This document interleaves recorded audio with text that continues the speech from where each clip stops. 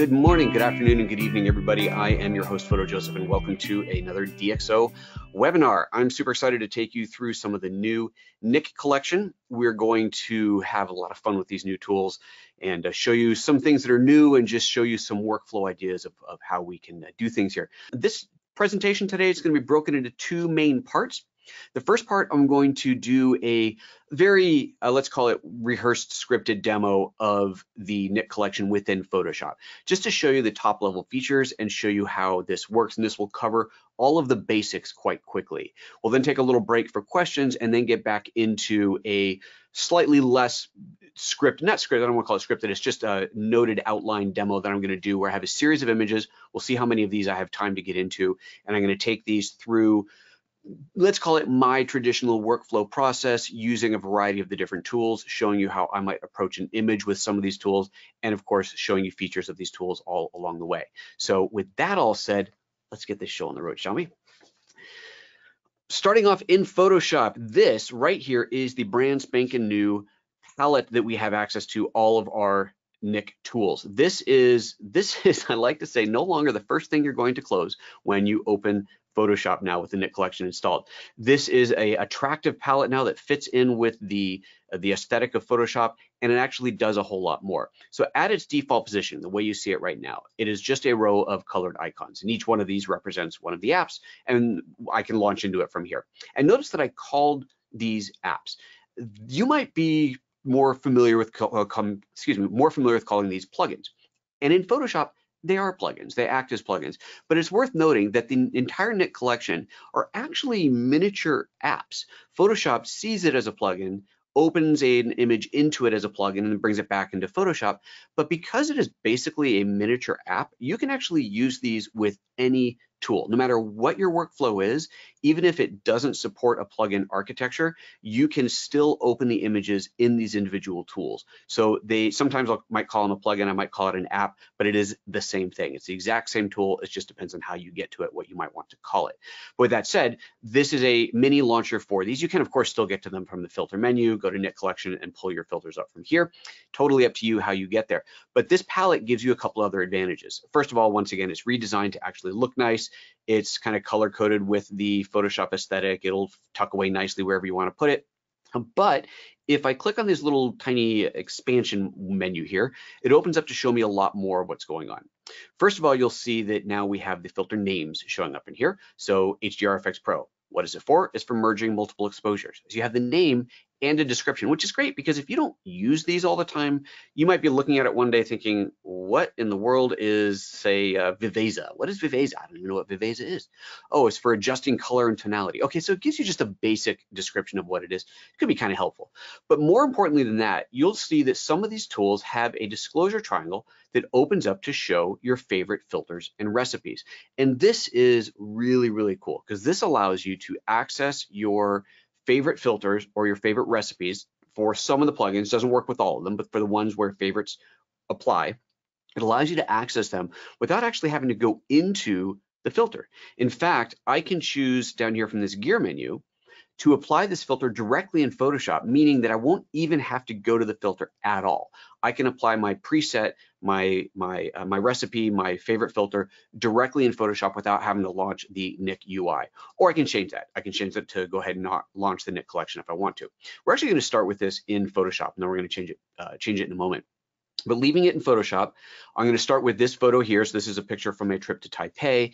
And let's say that I want to play with a few things. I want to, I want to experiment. I'm not quite sure where I want to go yet. I want to have some fun. So I'll look over here at my favorite filters. These are ones that I've favorited in the past. And I'll show you how to favorite these in a moment. And I'll try one. Let's try cross, uh, let's try cross processing to start. So I click on cross processing. And over on the right, you'll see that it has duplicated the layer. It is applying that filter to it. You may have seen the progress bar in the corner there. And just like that, we now have that filter applied to that image. And you'll see here it's on a different layer and it's even renamed the layer, which I really like. It has renamed it to tell me what the preset was. So that's super handy. So, okay, that's kind of cool. Look at that. I, I dig the direction that's going, but I want to try something else. So let's go back to the background. I'm going to hide the new one and I'll try one of my other favorites. Let's try bicolor filters next. So once again, select the layer, click the favorite, it's going to render that out without launching the Nik interface. And now I've got that here in Photoshop. We go, okay, this is interesting. It's definitely a bit heavy-handed, but you know, we're getting somewhere. We're getting somewhere. Uh, let's try another one. And incidentally, so I'm gonna go ahead and apply one more here called film grain. Incidentally, you could of course select the layer that you had just applied a filter to and apply another filter to that. It'll just render that on top of that and on top of that. So you can work that way as well, totally up to you. But in this case now, I've just applied three different ones. There's the film grain, there's what the bicolor one looks like, and there's what the cross-processing one looks like. So from a creative perspective, maybe I'm looking at these and I'm thinking, you know, I like it, I like the direction, but what I really want is some kind of a combination of these. So let's let's mix things up a little bit. Right, I'm gonna just start all over and get rid of all three of these. Get rid of those guys.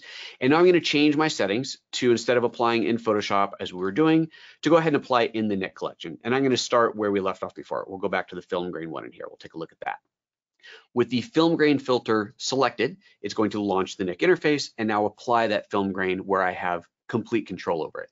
So in case you're new to the Nik collection uh, and new to Color Efex Pro specifically, let me show you a little bit about how this works. Over here on the right hand side, we have what we call the filter stack. And you'll see here that I've got film grain with my controls for film grain. So for example, I could take the grain per pixel and make it more. So it's gonna be a finer grained image or make it less. So it's gonna be a grainier image. Maybe I want it somewhere around uh, somewhere around there. And I can change the softness of the grain and the contrast of the film base and so on. So there's other settings I can change in here. But now if I want to add another filter to it, you click on the button here that says add filter and it adds an empty filter holder. And you may have noticed over on the left that the interface changed to now show me all the filters that I have access to. So there's a ton of them in here, ton of different ones. I can choose whichever ones I want. And I'm gonna go down that path I had gone down before and we'll, we'll go for that bicolor filter to start. So now I've combined film grain with bicolor filter. Now, as I said earlier, that felt a bit strong to me, so I can back that off. Let's take the opacity of that down a little bit and give it just a little bit of a color wash, kind of before and after with that effect. And yeah, I definitely like it. Like the way that's going. All right, let's do another one. Add another filter and I will choose again the same one that I did earlier, that cross processing, add that. And so now I've got a combination of all three of these. And this is the process of building up a look inside of Color Efex Pro add multiple filters. You can adjust each individual filter. You can actually rearrange the filters, which will give you different effects. And you can just play, play, play to your heart's content or come in here with a very specific, clear idea of what you want to do. Now, with all this done, let's just say that I had spent a bunch of time on this. I made this perfect. I want to save this as a recipe so I can come back to it at any time. To do that, I click on Save Recipe. I'll give this one a name. Let's call it Vintage. Click OK and that adds it to my custom recipe list. You see it's called vintage, it's right here. Now notice that each one of these, you may have seen this before, has a star next to it. And if I click on that star, it makes it orange in there, and that has now defined that as a favorite. By defining it as a favorite, it's gonna show up in Photoshop on the selective palette, which is really where the power of this comes in. So I've marked this vintage as a favorite. I've got another one above it that I worked on earlier called Taipei. I'm gonna go ahead and mark that one as a favorite as well. And I'm gonna go ahead and load up this recipe. This applies this recipe, it now overwrites the one that I had just done. Of course, if I did that accidentally, I can just hit Command Z and undo that or Control Z, undo that. But I've now just applied that Taipei recipe to this. Okay, so this is pretty good. I think I like the look of this, but maybe I wanna tweak it just a little bit. So I'm gonna go in here and make some adjustments. Let's go to the high key slider. We'll start with glow and I'm gonna take that up a bit. Let's take it up pretty high. Give it a, give it a nice bit of a glowy kick in there. And then I'm gonna go to film grain and let's make it, uh, let's make it grainier. Let's put a little bit more grain in there by making the grain per pixel a bit smaller, gives a little bit more of a grainy look to it. Okay, so this is cool. I like this. I'm gonna go ahead and apply this. Now, anyone who's used the Nik collection before knows that at this point, I basically just made a mistake because I just created something custom and I didn't save it, which means I'm not going to have a way to get back and redo that or reapply it to another image later, which could be a problem because sometimes you spend a lot of time designing something and you don't, you forget to save it and then it's, it's gone. So there's a new feature in here that allows me to save my bacon here, if you will. Let's go into another image. So I've, I've applied this here. We see that film grain effects applied in there. Let's go over here to another image and I want to apply the same look. So I go to my Color Efex Pro palette here. Let's turn on just the recipes. So I'm looking at the recipes. There's the vintage one that I had made earlier. There's the Taipei one that I made and, and marked as a favorite. Um, but we know that Taipei is not right. If I apply Taipei, I'm going to have to then go in and change two of the settings. I don't remember what I changed them to. Well, look above this. There's one called last edit. And the last edit button is going to launch the filter and apply exactly what was done previously to this image. So now at this point, I haven't lost anything. I've got the effects in here, and now I can save this off as a new recipe if I want to. Or maybe at this point, I decide, you know, for this image, I actually want a little bit less grain. So let's just soften up that grain a little bit for this photo. I think that'll look better. And there we go. I dig it. Click OK, and off we go. So that's the basics of what's new in the control palette itself, the selective palette itself within Photoshop. I'm going to jump over and I see a couple of questions have come up. We're going to take a look at those and then I'm going to go into some more images and we'll deep dive into some of these things a little bit more. All right, first question is, is the menu sticky and placeable within the panels? The menu does not stick to the uh, the Photoshop panels. No, so it's not going to integrate itself within these panels, unfortunately. Um, I, I know this question's come up before. I don't know why that limitation is. I don't know if it's a Photoshop limitation or just something that hasn't been added, but unfortunately, no, it does not. So for now, you can put it wherever you like, and of course, you can collapse it down to make it nice and small um, if you want to. Um, pull away. There we go. Uh, second question came up where can you find the selective tool if it doesn't show up in Photoshop? Great question, because often, especially uh, if people aren't familiar with it, they might close it thinking, get this out of my way. And then you're thinking, where'd it go? How do I get it back? Easy enough. Go to the File menu. Under Automate, I know it sounds strange, but this is where it is. Under Automate, and here we go. And then Nik Selective Tool 2. It's the same place you'd find the original Nik Selective Tool. Select that, and boom, there you go. And she's back again. So that's that. That's how you bring that back up again. Uh, all right, that's it for questions. All right, well, in that case, we're going to just start having some fun with some of my other photos that I've selected here. So let's see here. I'm going to go and close out a couple of these.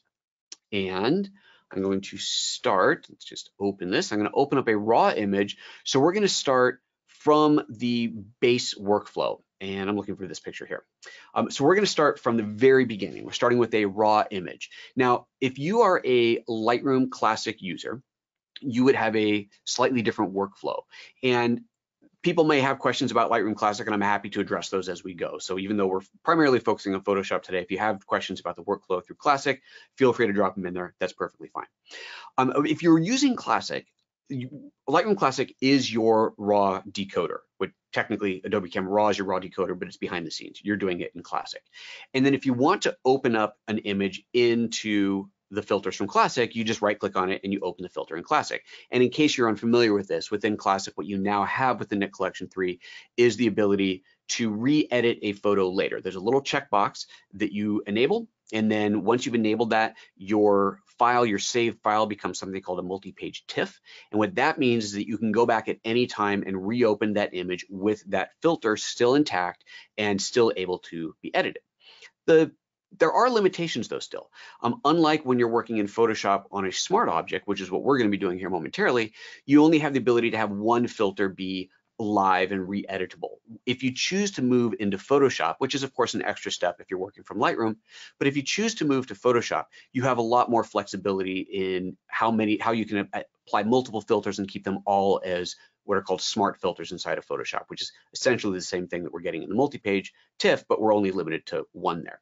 So that said, I'm now starting completely from Photoshop by opening the camera in ACR, Adobe Camera Raw first, which is what happens when you just hit Command O or Control O, open in Photoshop and you choose a raw file. It starts in ACR, you do your base raw decoding and then you save it out to Photoshop. And when you hit OK, it renders out what is well, it's, it's, pixels. It renders out pixels. You can then save it as a TIFF or PSD or whatever you'd like.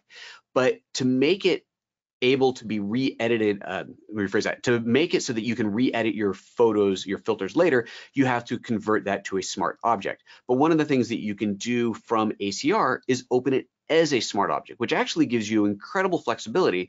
But as we're about to see, there are still some limitations in that. So with all that preamble said, let's start off here in Photoshop in ACR. So this is a raw photo in here. And um, I'm going to start by doing just a basic adjustment. I'm going to actually just auto, It's pretty often what I'll do is I'll start with the auto button and just see what it does. It brings everything into range. Um, it brings your highlights and shadows into range. Will often lift your shadows, pull back highlights if they're really bright. And it may not give you the most glorious image, but it does give you an image where everything is brought into range, which is pretty important. So I'm starting off with this, and um, this is a good start. And I'm going to go ahead and hit open down here. Now, this, oh, actually, let me take that back. I didn't want to open it. I wanted to do that as a smart object. So let me do that one more time. Model in doorway. Um, it, the the auto change has already been saved in there. Now I'm going to open it. You hold down the shift key and it converts to the button converts to open object. Or this is actually something new, I think, in a newer Photoshop. There's now a little disclosure triangle here. If you open that, you now have open as object there. Okay, so this is now opening it as a smart object. What this means is that I can, means two things. It means that I can apply a filter to it, which would be applied as a smart filter, which means I can go in and re-edit that filter at any time. And it also means I can go inside of the smart object and re-edit the raw image. So for example, here on the right, we see there's my thumbnail. This little kind of document-ish icon there means that it's a smart object. If I double click on this, it's gonna open back into ACR, back into Adobe Camera Raw. So if I wanted to do some other changes at the raw decode level, I can do that in here. Okay, and then I hit okay and it just brings me back again. So the first filter that I want to apply to this image is Perspective Efex. And Perspective Efex is one of the new filters in the Nik collection. But there's a problem. Perspective Efex cannot be applied as a smart object. Because of the level of distortion that it's doing, it doesn't apply it as a smart object. So if I try to do it, it's gonna say, sorry, can't do it, not cannot be applied as a smart object. Okay, so that means I need to flatten this out. Now, at first glance, at first thought, you're thinking, well, hold on a second. You just told me all the benefits of having a smart object, and now you're going to remove all those benefits by converting it to a just pure pixels again. So what's the point of this? Well, the point is that we are going to need to do this to apply this particular filter. But once we've done that, we can actually re-enable it as a smart object. Now, it is not going to restore the raw editing capability, but it will give you the re-editable capability of the filters as a smart object. So what this means is you really want to plan through your workflow. So I opened this as a smart object. I can now go in here and right click on it and say rasterize layer, and that's going to just rasterize that out as pixels. But what I didn't plan for on this is when I opened this, I did not set it to be a 16-bit image. If I look at my uh, where are we? Mm, image, here we go, image mode, you'll see that this is set to 8-bit, which let's be honest, for this particular image, it's quite flat it's fine. But let's just imagine this was a higher dynamic range image, an image where I might still have highlights and shadows that I want to recover. I might want to really push the dynamic range of this image. I probably want this to be 16-bit. So I'm going to start this over, and I'm going to show you the better workflow to do something like this. Me just close this and not save it. I'm going to go back into that image again. And this time I'm going to change it to 16-bit. So down here on the bottom, you see it says Adobe RGB, 8-bit. It's all the information about this file and how it's going to open. I'm going to change that to be 16-bit. And now instead of opening it as a object, I'm just going to go ahead and straight on open it. So you might now be thinking, and rightfully so, well, hold on, but I still have lost my raw editing capabilities. And you have, but here's the thing if you open up a raw image in ACR and you do your basic level adjustments and then you open it as a 16-bit TIFF, you're not losing anything. No, you do not have the white balance, um, non-destructive white balance control. So I guess I shouldn't say don't lose anything. That's basically all you lose. You still have all of the pixels with all the dynamic range, with all the bit depth that your camera would have created. Your camera is not shooting 16-bit. Your camera might be shooting 10-bit, 12-bit, 14-bit, depends on your camera, but it ain't shooting 16. So you have got plenty of room here. You still have plenty of overhead. As long as when you do that initial conversion, everything's in range, you're gonna be perfectly fine. So with all that out of the way, now I've got a pixel-based image here that I can apply Perspective Efex to. So this is a fun, kind of a really extreme image here because uh, because what is actually straight and correct on this image? So this is, uh, Perspective Efex is a tool for correcting, as you might have guessed, perspective of images. Quite often used to correct buildings that are kind of leaning, maybe because you shot with a wide angle lens point, uh, pointing up and you know then your buildings look like they're tilted, or you were just standing still to hold a photo, but you weren't quite level, you were tilted a little bit. This is for correcting all of that. And I look at this photo and I want to correct the doorway. But the thing is, this doorway was never straight. I mean, okay, maybe like 100 years ago it was, but pretty clearly here, there is no normal correction for this. So this is a really extreme image that I'm bringing up just to show you kind of the fun power that we do have within this tool. So we're going to come into Perspective Efex a couple of times, but I want to start by trying to do a basic correction to this. Um, and incidentally, you may have noticed up here, it says no DxO optics module is available to correct this image. Many photos will have a DxO optics module available. That is a combination of the body and lens. That is a unique file combining those two pieces, the lens and the body, giving you a profile to do some basic correction for that image. The reason that there is no optics module available here is because this was shot with a vintage adapted lens. So the camera, the software has no idea what the lens was. It's completely manual. So that's why it's like that. It's also why this image is a little bit soft. It's just the look of the lens that I used when I shot this. So with that said, let's try a auto perspective. I'm gonna hit the auto button and see what happens. And I mean, the door, the top of the roof might be straight, but now the door is even weirder. So that's that's not going to do it. So let's let's not do that. Let's undo that. I'll reset that. With Perspective Efex, you have four different ways of correcting the image. You can correct it based off of vertical lines. So if what I care about are the vertical lines, I could do that, which actually might work pretty well for this image. I could straighten the doorway, but then the roof is definitely going to go wonky. I can correct it based off of horizontal only. So if I want to say, right, these are the horizontal lines, I can do that and then let the verticals fall where they may. Or I can go to a square one, which could actually work quite well for this image. Um, and this is where we're going to start. And to do this, I would, to make the adjustments, I drag these four corners over to the four corners of the doorway. And we're going to get these precise in just a moment here and use this to define something that should be perfectly rectilinear, perfectly straight. And uh, we're going to try this to start. We're going to try it and see what happens. So to do the corrections, you get your lines roughly close to start. And then you go in with this little control right here, and you get that in a very precise position. Now, because of the nature of this doorway, it's a bunch of very kind of warped and rotten wood, we may not find a very clean line to base this off of. So we're going to be doing a little bit of guessing in here, but that's that's just the nature of this photo. Now to get it lined up, as I, as I said before, you click on this dot and you move it around. And when you want to get it precise, notice underneath the circle, it says press shift to slow the cursor. Right now, I am moving my hand, my mouse hand back and forth. Let's call it like an eighth of an inch. I mean, it's a tiny amount that I'm moving. You see how fast it's going. So it can be quite hard to get it precise. Like I want to get that corner. Where is that corner? You can't get it. Underneath it, it says press shift to slow cursor. Hold down the shift key. And now here's that same amount of hand movement. Actually, I'm even moving it even more now. And you see how slow that moves. This allows me to get very precise with my placement. So the way you do this quickly is you grab this dot, you get it close to where you want it to be, then you hold down shift and get that into place grab it, move it quickly, get it close. I'm actually going to go up here so I can see that line a little better and drop it into place. Now this one's going to be a little tricky. A um, couple things, some tips on using this tool for a photo like this. At first glance, that looks like the edge of my door. But look more closely at the image. If we look up here, uh, let's actually just zoom into one-to-one -one on here. If you look up here, you'll see that we're looking at pretty clearly the edge of that wood panel there. But as this goes down and the wood distorts out, we're now starting to see the back edge of the wood. So all the way down here, that edge there is actually the back of the wood. The actual line that we want is probably somewhere around here. And you know, again, it's it's a little bit um, a little bit iffy where it is. So we're definitely gonna have to be doing a bit of guessing in here, but that's okay. We're gonna get that in roughly close. Now let's get this one up roughly close. Now the real challenge is I don't have any idea what my horizontal line is on the bottom. I mean, there's that, but I really don't think that is, well, let's, let's go off of that. Why not? I'm going to line this up. This is going to be awful, I can tell already. We're going to line this up roughly off of that there. Okay, sure, why not? And I hit preview.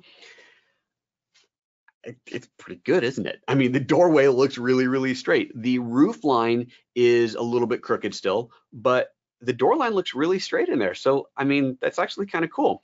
It feels a little vertically distorted. So I want to correct that just a little bit. I'll do that with the HV ratio slider, just a tiny bit of distortion, kind of correct it. Oop, actually going the wrong way. I want to go this way, just a tiny bit, stretch that out. I, I think it looks pretty good. I like it. So I'm going to hit apply. Why not? I dig it. There's my corrected. The rooftop's a little bit, a little bit off still. Um, I could redo it and do it based off of that line as well, but I'm going to go with this because the doorway is what I was trying to get and it has done that correction. I think it actually did a pretty remarkable job. Okay, so remember now we started this as a 16-bit TIFF layer. I applied this filter to it. Now I'm going to get creative. So that was my corrective work. I don't need to come back and change this later. That's done. But now I want to get creative and I want flexibility on my creativity. So I'm going to right click on this layer and choose convert to smart object. And once that's done, it just takes a moment. You don't get any confirmation dialog. It just happens roof is falling down. There we go. You get this little icon there, shows you that it's done. And now I can start applying different filters to it.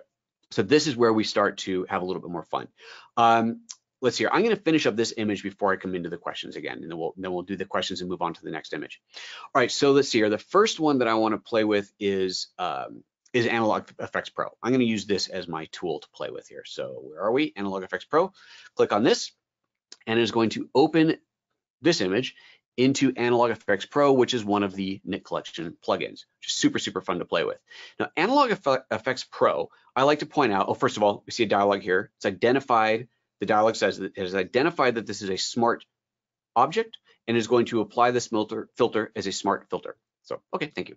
Um, Analog Efex Pro to me is a playground. This is a great place to play where you don't know necessarily what you're what you're after. I think that Viveza is extremely precise. That's a tool where you go in knowing exactly what you want to do, exactly what you want to change, and you go for it. Color Efex Pro is a bit of both. It is a bit of a playground, but it's also very specific and very corrective. So if you know roughly what you want, or even if you know exactly what you want, Color Efex Pro can be a great way to do that. Viveza's corrections are more about very specific uh, color exposure changes like that. We're actually going to look at Viveza in a bit here, where Color Efex Pro has lots of fancy effects to it, film grain looks and so on. Analog Efex is just a playground. This is where you go when you're not sure what you want to do. You just want to make some kind of cool vintagey look to it. And so you start playing around. And there's some great presets in here. Like I click on this one, this classic camera, apply this, and you get just what's a cool look. And you have a ton of different adjustments in here. I can go in and change the kind of dirt and scratches layer that's on top of that image.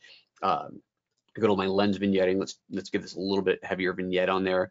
And I just I go to town, have some fun. And when you're done, you click OK, and it applies this. But remember, because this is a smart object and therefore applied as a smart filter, I can go back in and change this at any time. So if I'm looking at this now and I'm thinking, too cold, I want it to be a little bit warmer and I want to have a little bit less of a vignette, I can go back in and open up that Analog Efex Pro, just double click on that smart layer, smart uh, filter, and it opens up into Analog Efex. And once it's in here, I can make those changes. So let's go to lens vignetting first, and we'll dial that back a little bit because it's just a little bit too strong. There we go. And let's figure out where the color is coming from. We can look at the film type, and film type has a series of, of color overlays on it. There's a whole collection called warm, so maybe one of these will do it. A little bit too much, it's a little bit better. Warm that up a little bit. Maybe take the strength of that down a little bit. There we go. Yeah, and there we go. We redone the image with a much warmer look to it. And it's a playground. Play around in here, have tons of fun, come up with your coolest images, and away you go. And now when I save this document, because this is a Photoshop document with a, a Photoshop file with a smart object and a smart layer applied to it, I can just save this as a PSD file and I will be able to come back to this at any time, reopen this and pick up where I left off, continue to make other changes and so on. All right, let's take a quick look at questions and then I will jump back into another sample image. Uh, first question, can you use the Nik collection with DxO Photolab if you don't have Lightroom? You most certainly can. DxO Photolab does provide you the plugin methodology, and just like Lightroom Classic, it gives you access to the multi-page TIFF. So when you open the file from Photolab into the Nik plugin, uh, it will open it as a TIFF file, and then you can check the checkbox that says, allow me to edit this later, and that's it. And then you've got that multi-page TIFF. It is still not the flexible level of Photoshop. What you have in Photoshop is unique, but you have the same thing in Photolab as you do in Lightroom. Next question. You start in Photoshop, then go to Color Efex Pro 4, apply a few filters, then click OK, and the image returns to, oop, ah, my, hold on, sorry, I gotta make this window a little bigger a lot bigger. There we go. Uh, okay, you start in Photoshop, go to effect, Color Efex Pro 4, apply a few filters, then click OK, and the image returns to Photoshop. Right. If I return to Color Efex Pro 4 with the same image, is the history available from the first session, or are you starting again without the history and the filters applied originally? That's a fantastic question. I actually don't know. I never use history, but let's find out. So I open this up. We clearly had made numerous changes to this. And let's see here, what had I done? I had selected a different preset, I changed the vignetting, I applied it, I came back, changed the vignetting and the warmth, the color overlay, and applied that. So let's see how much is left in history.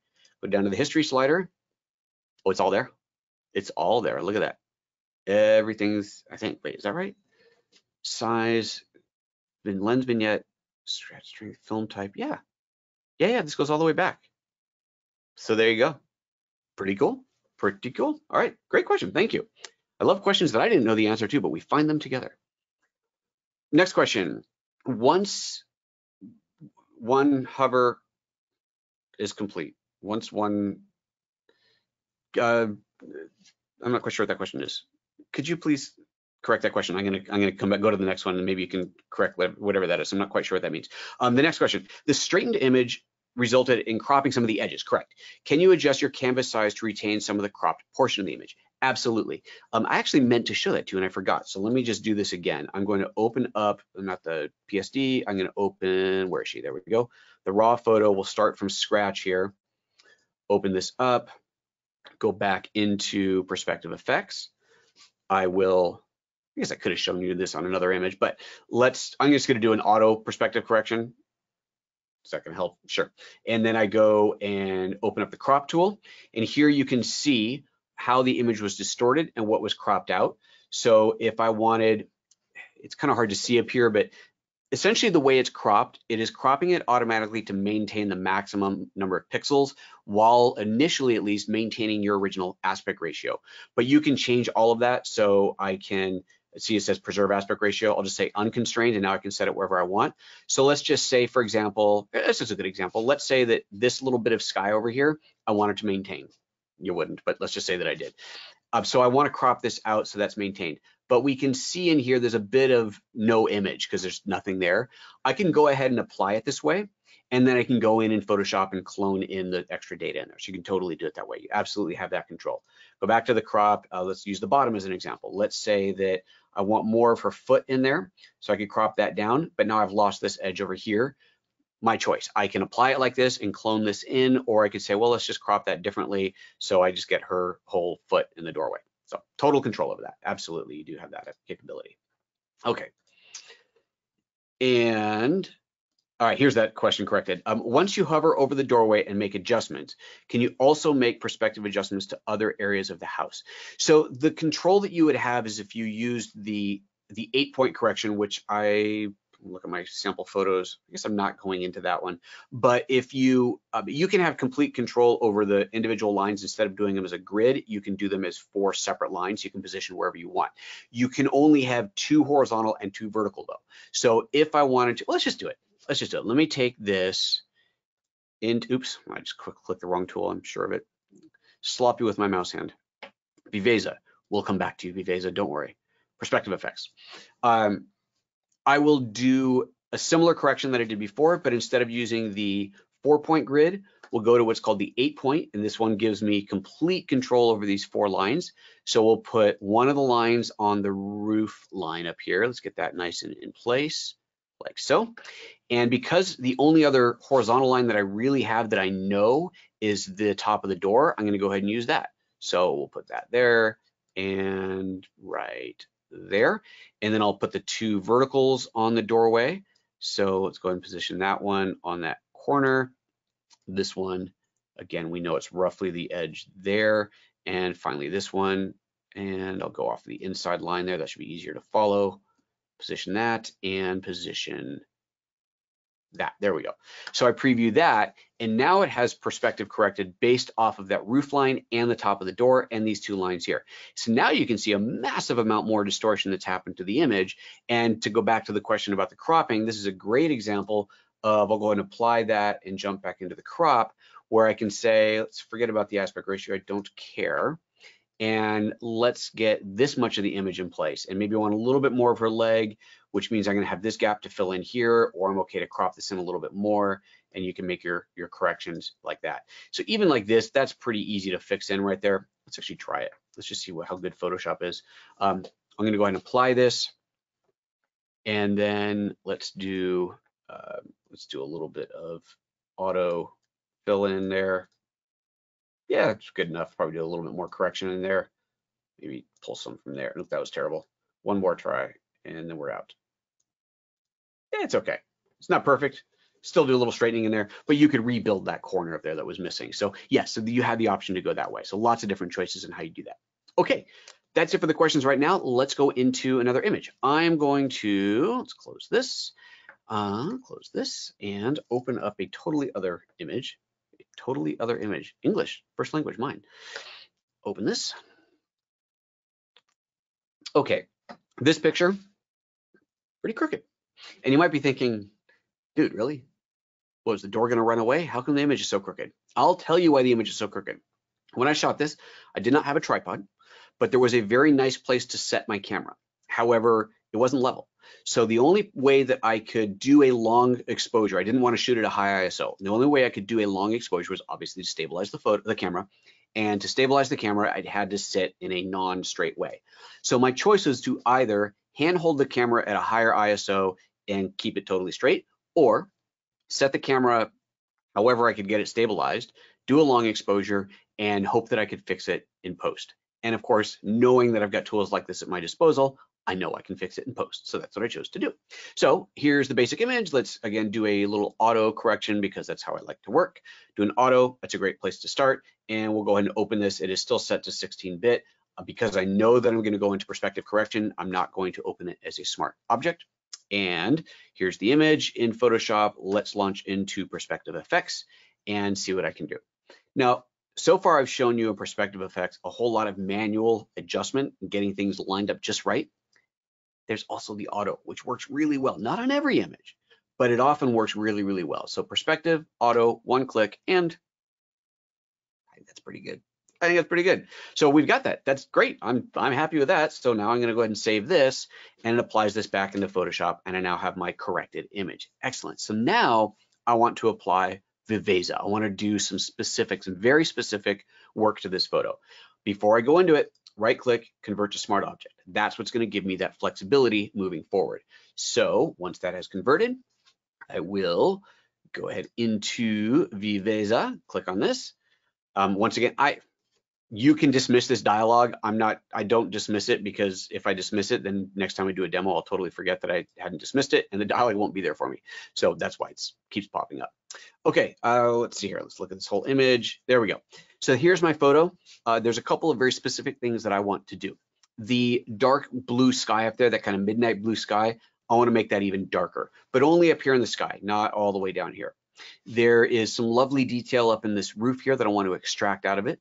I want to highlight this inscription on the doorway a little bit. And I want to bring up the saturation on the red door here. So, oh, oh yeah, and I want to shadow down the bottom here. So those are the things I'm going to do. So if you have not used Viveza before, Viveza is all about the control point. You'll notice in here, there's no filters to apply, nothing hanging out on the left. This is all about the control point in here. You have a global levels and curves control, but that is the extent of what you have global control over. Everything else is about these control points. So how do these work? Well, you start by grabbing a control point, dropping it wherever you want. I'll say on the blue sky on there to see what is going to be affected by this control point, I can either enable the mask right here with that little checkbox, and we see now what control points are doing. So again, if you haven't used control points before, what this is, is a real-time mask that is built based off of the pixel uh, values and the pixel colors of where you dropped your sample. So in this case, I dropped the sample on that dark blue sky. So it has selected all that sky and then it's fading out the farther away we get from that dot this little guide here will allow me to control just how far I want that expansion to go. And you can see that the uh, the inside of the roof in there is not getting selected at all. Again, we're looking at the mask. So in a mask, white is applied 100%, black is applied 0%, and then any shade of gray is somewhere in between. And I go in here and I can adjust that circle size to get the area that I want. I don't want all of the water to get selected. I really want to focus on that sky in the background. So I'll just leave it like that. That's there. Let's take my brightness down a little bit, and that's now a bit darker. Good. Next, I'm going to do the rooftop up here. I'll grab a new control point, drag that on. To check how big or check where the mask is being applied, again, I can click on the checkbox here, or if I hold down the command key, that while I'm dragging it, it actually shows what that looks like. On Windows, I believe that's the Alt key will do that for you. And it shows me as I'm dragging that, the mask that's being built. So we can clearly see in here that the mask is being applied to that roof area, which is what I want. And in here, what I wanna do is play with the structure. So you have in here control over brightness, contrast, saturation, and structure. Come back, there we go, structure. But if I click this little triangle here, you actually have more. Shadow adjustments, warmth, red, green, and blue channels, and then the hue. So these are all the controls that I have in here. In this case, it's structure that I want. So I go to structure, and I'm gonna crank that up to pull some of that detail into that roof in there. Awesome. I'm gonna do another one here over the inscription. Let's make this pretty small, focus this down, and I just want to add a little bit of light into here just to add a little bit more attention to it, just bring the eye to it a little bit more. Let's do another one on the red door here. Once again, hold down the command key while I expand this out to see what's being affected. So this is interesting here where I clicked, it's not really getting all the red door. So I'm going to move that control point while I'm holding down the mask. And as I do this, I can see what will be affected. So if I go over here, for example, it's not getting the door, it's getting the door jamb, not what I wanted. So I'm gonna find the area that I want. And I think, let's go down here maybe a little bit. I gotta find just the right spot to get that. That's pretty good. And now I think I'll bring this down a little bit. I want less of the doorway here that's getting selected. Uh, let's, let's just turn the mask on. I want less of this to get selected and more of this. In fact, if I want to make sure that this part of the door is not selected at all, so it doesn't get affected at all, I can add another control point and just not make any changes to it. So I'll add a control point to that. Let's hide that mask. And so what this is now showing me is just what this mask will do. And now I'm seeing how it's affecting the doorway and virtually nothing else. So this should work out well. Now I can take my saturation, which is here, take the saturation of that red door up a little bit. There we go. And make that a little bit more saturated. Maybe add a little bit of brightness to it too. So there we go. Let's do a side by side on these. And you can see now the difference between the two. It's all subtle work, but subtlety is key for something like this. You don't want to go over the top. We now have that darker sky, more detail in the ceiling, a little bit more light on the uh, on the inscription here. The doorway, oh, that's right. I wanted to do it darken the floor. So let me add one more control point down here, take the brightness down on that floor there. That's a bit too much maybe right about there, just to draw less attention towards the floor. There we go. Remember, your eye, your viewer's eye goes towards the brighter spots naturally. So by darkening some areas, lightening others, you are drawing their attention to wherever you want it to be. Let me take a quick look at the questions here. Next one up, where should Perspective Efex be placed in the workflow? Before or after noise reduction with Dfine? Oh, that's a good one. I would say if you're doing minimal amount of correction, it's not gonna matter if you're doing quite a bit, I would probably do it before. If you had a lot of noise, yeah, I would do it before because once you, yeah, I would definitely do the noise correction first. Because think of it like this.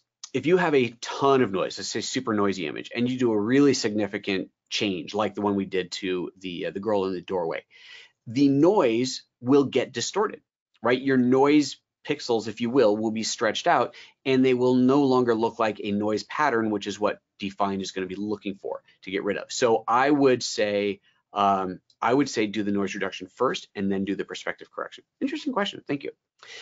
Next question, how to open the Nik selection tool in Lightroom. There is no Nik selective tool in Lightroom because in Lightroom, you um, you don't have, well, you just don't.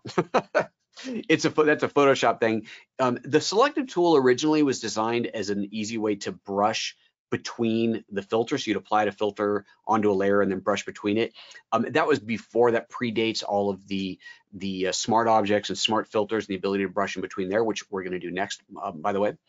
Uh, and so I think in history past, uh, once smart objects became a thing, it was largely just used as a launching pad. Now it's a launching pad still, but with these other features, the ability to get into those presets quickly, but that just doesn't exist inside of Lightroom. So, okay, let's go on to another image. Um, let's see here, how are we on time? We only have 12 minutes left. Okay, I'm gonna do uh, two things. I'm gonna show you one very quick thing and then we're going to do one more image that we're going to go a little bit more in depth in. The quick one is just to show another, maybe a non-expected use of the Perspective Efex tool. So this is effectively a product photo, if you will. Um, I have a YouTube channel. I do a lot of thumbnails, of course, and so this was part of a thumbnail that I was building. So I took this photo of my phone top down, and I wanted this to be as straight and clear as possible, but but it might not be exactly right. I mean, it looks pretty good, but maybe it's not exactly right. And so what I'll do is open up this image and use Perspective Efex to ensure that these lines are totally, totally straight. And I'm using this photo as an example because the rounded corners actually make it a little bit harder to do, but this makes for a great demo.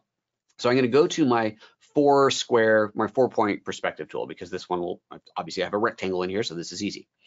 Get these roughly into place to start. Um, I could actually grab the whole line. That would have made more sense instead of grabbing all the points. So you can grab that line and move it around. So let's get that roughly close. And now you go into line it up and you're going, hold on, I've, I've got no corner, man. How am I supposed to do this? So at this point, it's going to take a little bit of, of refinement. So what I would say, the way my approach to this would be to get it close to start, get it close to start, and then keep going around again and again. And instead of focusing on the point where the crosshair is, focus on these lines. Look at the lines on the edges and the top and bottom. That's what you're basing your correction off of. So if I grab this and I drag that up, if I look at the top line, I can see that's pretty well aligned. Actually looks pretty good on the side as well. And then I'll change this one. But the more that I change them, other ones might get affected and get changed with it. So you may need to go around a couple of times to find this perfect lines. Actually, I think it did a pretty good job there. Maybe we can close this one up just a little bit. In fact, let's bring that whole line over just a hair. Yeah, I think it looks pretty good. And so now I do a preview and we'll see it wasn't a lot, but it did change. And if you're doing this kind of product photography where you've got that, um, like this is for a top down type of a look, that flat lay look, you want everything to be just perfectly aligned and this will allow you to do that. So at this point, if I was to continue with this photo, um, this composite, I would now take this corrected image, crop that out, mask that out from the background, take the second photo, mask that in, and so on and so on. But this would allow me to get that perfectly straight starting point. Okay, I just wanted to show you that there because I think with things like the rounded corners, it makes it a unique challenge. And then considering that it's not just for, for correcting photos of buildings and so on, using it on product photography like this can be quite helpful. Okay, last image. It's actually this one here, Foggy Road. Alrighty, so once again, let's do the auto button didn't do much, but I'm good with that. Um, I am not going to take this into Perspective Efex, so I'm not going to bother. Uh, I'm, I'm not going to bypass the option. make any sense. I'm going to go ahead and open this as a smart object because that gives me that ultimate flexibility later. So let's go ahead and choose open as object.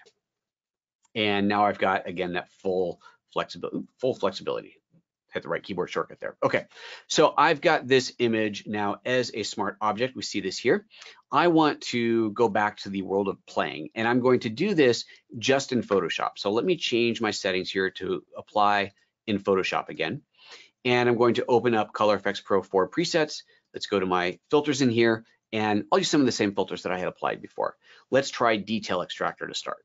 So I click on this. It is going to, just like we saw before, apply the filter in Photoshop without actually opening the Nik plugin. But remember before when we did this, it duplicated the layer? That's because it was a normal layer. It was not a smart object. Because this one is a smart object, the software doesn't have to duplicate the layer to maintain the integrity of the original image.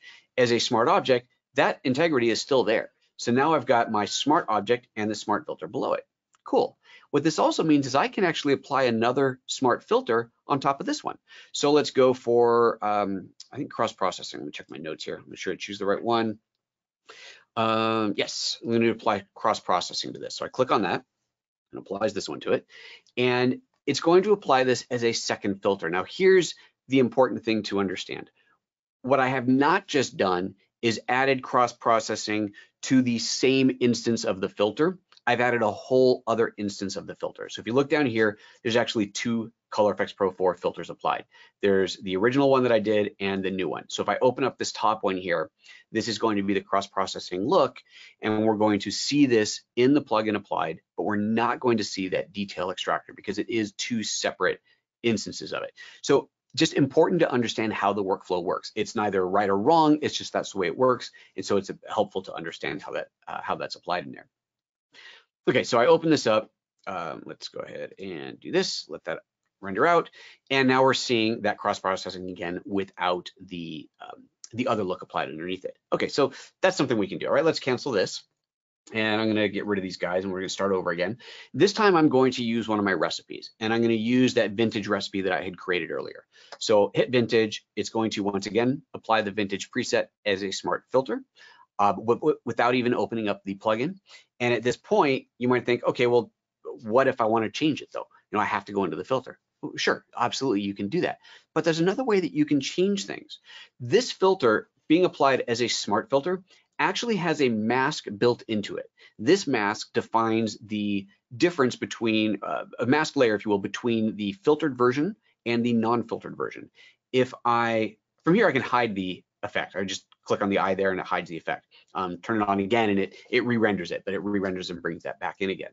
But I can go into this mask and actually brush the difference between the original and the affected one. If I, let that finish, there we go. If I just option click on the mask, it loads up the mask and we can see it's just solid white. And you can see that from the icon here as well. If I grab the brush tool, hit B to grab the brush, let's make this nice and big, and it's black, it's already set to black. As I brush over this, you'll see that looking at the mask in here, you can see what it's done. I've just brushed that black into there. And you can see up here that it has brushed away that effect. So now up here at the top, the effect is not applied at all. At the bottom, it's applied completely. Okay, with that in mind, I can now change this mask to paint the effect in or out at any degree that I want to.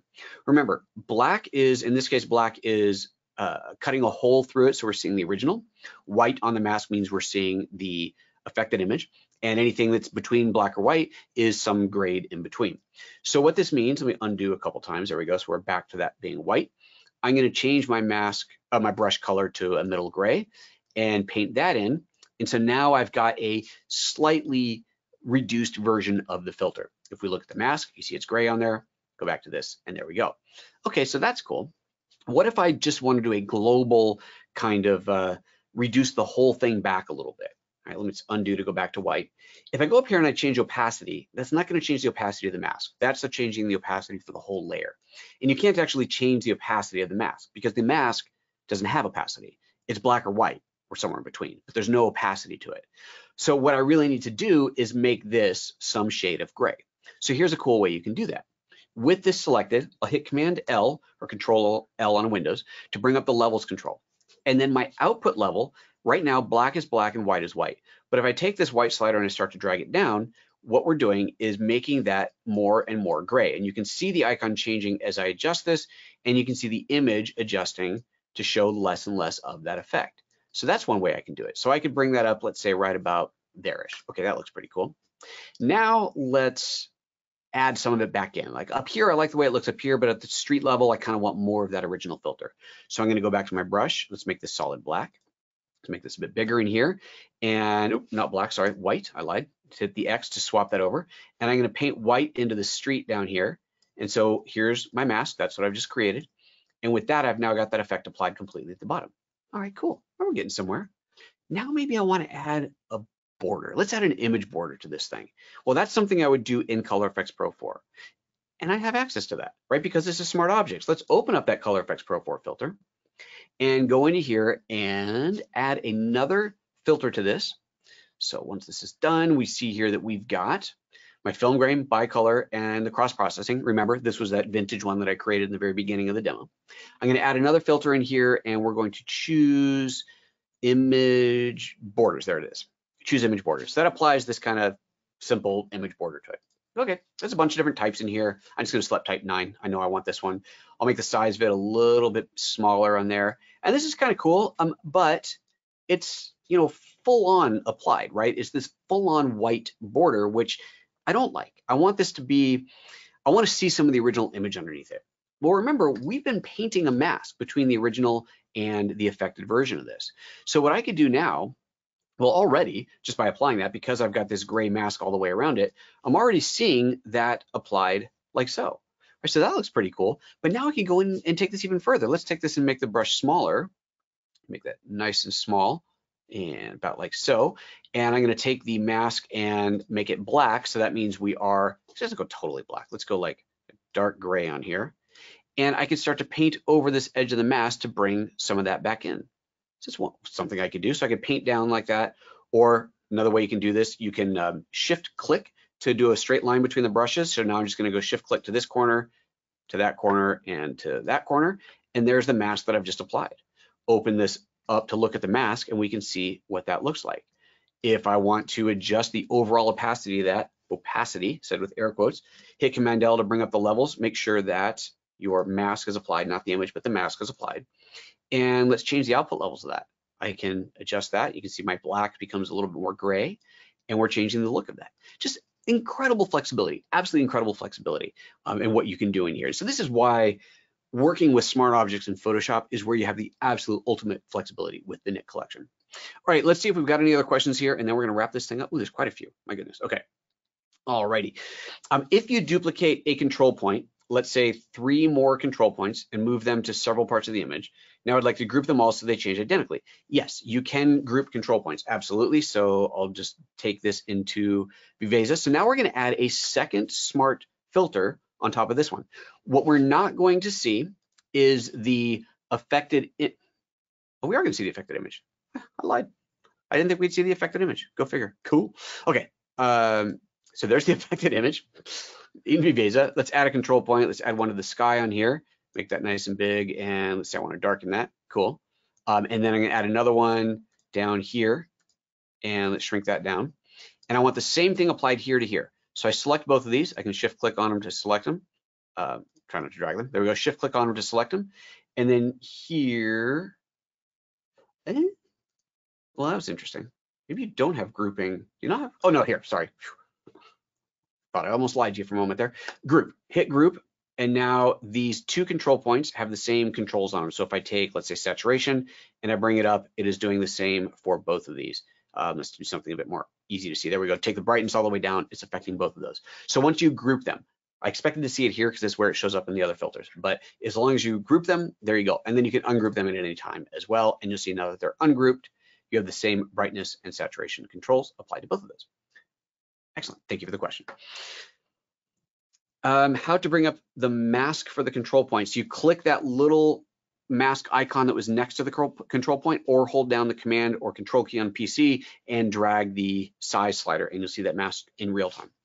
Can we create actions with these filters to have the same filter applied to different images? You can. In fact, if we go back to this website, um, I'm pretty sure I did that at some point in here. Did I? Action, actions, report distractions, uh, action. No, shoot. I know that's something I covered. It was a long time ago. Hmm. Batch. Nope. Hmm. Auto. Nope. I don't remember which one it was. You can. I don't. I know that I did this, but it was a long time ago, one of these earlier ones, so I, I couldn't tell you which one it was, but you can build them into action. So the easy answer is yes. I was going to try and show you where you could watch it in action. Um, sorry. Mm, can you selectively reduce the effect of a filter by adding control points? Show, yeah. So the opacity slider is how you would do that. Just depends on the tool. Again, every tool is a little bit different in here, but yes, the effect of a um, of a filter would be of reducing a control point would be with the opacity slider for that control point. Thank you everybody for tuning in today. That was super fun. I hope you enjoyed it. Um, I know we covered a lot in a short amount of time just the way it works. There's so much to do, and there's always so much more that I want to show you. But uh, but I showed you the images that I did want to get to, and I showed you everything I planned on. So um, thanks a bunch for tuning in again. Sign up for another webinar. There's again, if you go to my link, that thatphotojoseph.com/dxo, you will find links to the future webinars, and there are um, there are often more coming. So keep an eye on that webpage. You can subscribe and all that good stuff. All right, guys, take care. See you next time. Bye bye.